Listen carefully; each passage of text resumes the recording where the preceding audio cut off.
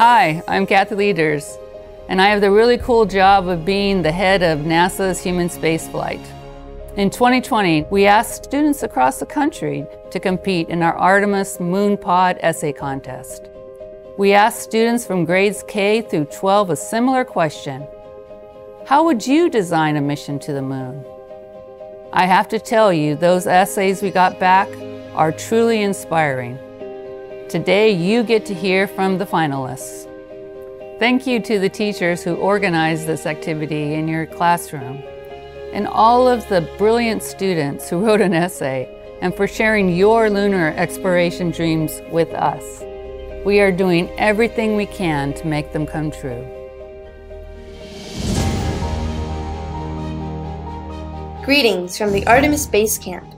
This is the commander reporting on our first day, along with my strong, determined, well trained, curious, and optimistic team of four members.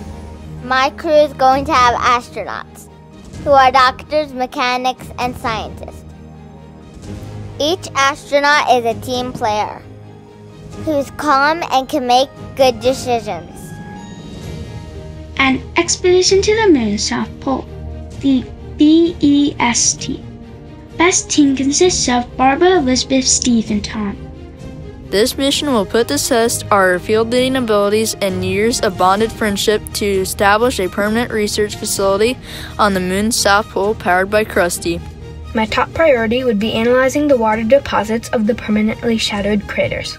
Water is essential for drinking, fuel, cooling machinery, and growing plants making it the most important commodity on our moon.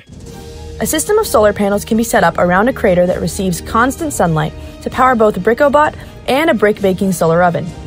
Thus, an observatory could probe deep space without light interference from the Earth. Since the moon has no atmosphere to diffuse it, the light from the sun would have little effect on stargazing. Using our comprehensive and diverse skill set, we will provide a practical tool that will change lunar exploration forever. Embarking on this incredible adventure, I couldn't help but be grateful to be given this opportunity to lead the most remarkable crew and to know I was a part of the Artemis generation. Hello, I'm astronaut Randy Bresnik, and I just wanted to say great job to all the essay contest finalists.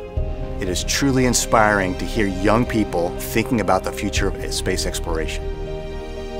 All of us at NASA were once kids just like you, imagining what it'd be like to go into space, to walk in space, to walk on the moon, or build the next generation of great spacecraft, which is what we're doing right now. Big dreams like those aren't easy to achieve. It takes teams across the country and around the world working together to make it all possible. We're counting on all of you to dream big and join us in continuing being creative, working hard, and keep working together. This is an amazingly exciting time for the Artemis program. For you, for me, for all of us in the Artemis generation. This is our time. So, if you want to be part of the Artemis mission, head to stem.nasa.gov slash Artemis to participate in an Artemis Student Challenge and follow at NASA Artemis on social media for the latest updates. Go Artemis!